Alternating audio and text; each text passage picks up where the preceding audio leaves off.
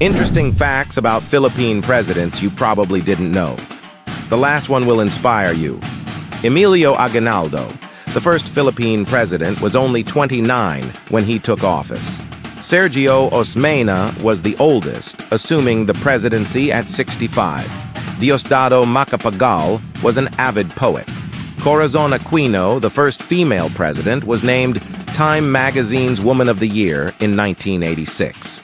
Ramon Magsaysay started as an auto mechanic before becoming president.